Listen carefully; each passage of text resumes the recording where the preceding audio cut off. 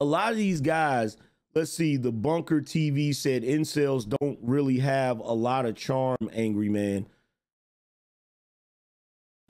Anyway, like I was saying, like I was saying, a lot of these guys are complaining about. Do you ever notice when it comes to the socially awkward slash incel slash red pill community? You know, it, it's it's not so much about coming up with a solution.